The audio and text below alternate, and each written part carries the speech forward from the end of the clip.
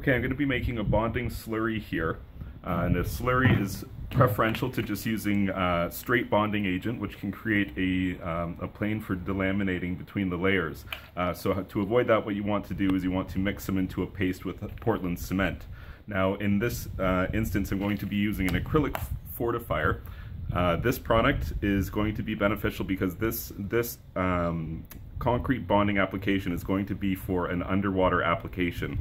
And as a result, I'm going to need something that's going to be able to stand up to uh, the hydrostatic pressure more so than the other style. This is, a, this is thin. This bonding agent is the thin one like milk as opposed to the thick one like a white glue. The white glue one is very easy to use, very user friendly. It's called a universal bonding agent. This one here is a little bit more technical of a product, uh, but ultimately if you're going to be doing something that is going to be exposed to constant water, the thicker white glue product is not ideal for the application. You want to go with a, an acrylic latex product here. Um, and I'm going to show you how to make that bonding slurry now. So the optimal uh, liquid content here is going to be 50% water, 50% of this acrylic fortifier. So this is about uh, one liter here. So I'm going to go ahead and add half of that into our bucket here. So I want 50% of my liquid content to be this acrylic fortifier. So we got about 500 milliliters in there now, half a liter. And then I've got 500 mils of water. So now I'm going to have equal parts water and the acrylic latex there. So now, all you're going to do is add Portland powder to this. And that's what I've got in this bucket here, is just some regular old Portland powder. And the amount that you add, more so than a measured quantity, is going to be how much can we add to achieve the desired consistency that we're looking for.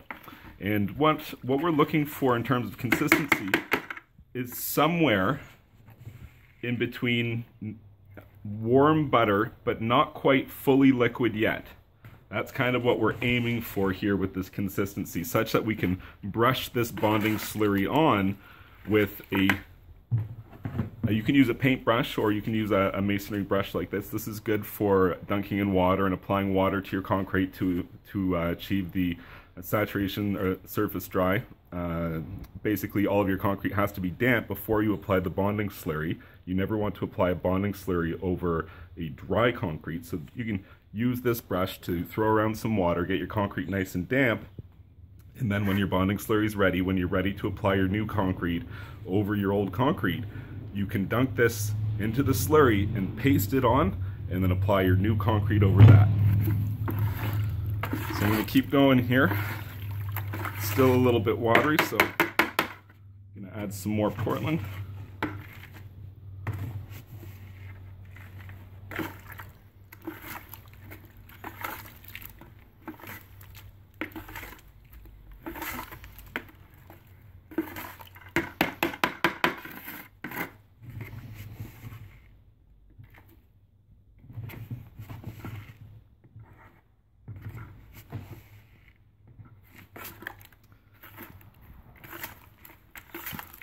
Once you have the slurry all mixed up, it will actuate or become hard faster than normal concrete that you might be used to working with.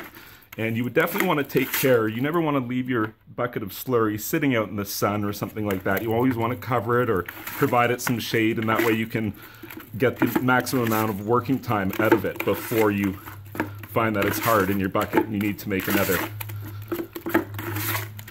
All right, so I've got something that I think is maybe not 100%, but I think we're pretty good here. So, as you can see, it's almost self-leveling.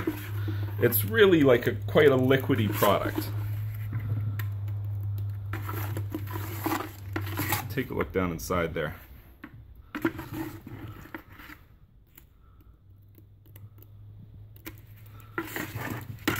So I'm going to spend another couple of minutes, uh, maybe even take my drill and uh, whip attachment and send it through here to get this all this Portland broken down. Once you've got it all creamy, all mixed together in some kind of consistency similar to what you see here, then you would take your brush dunk it in the slurry, paste it onto your old damp concrete, and that's how you make a bonding slurry. If you found this information helpful, please be sure to like this video, and you can check out my website, swimmingpoolsteve.com.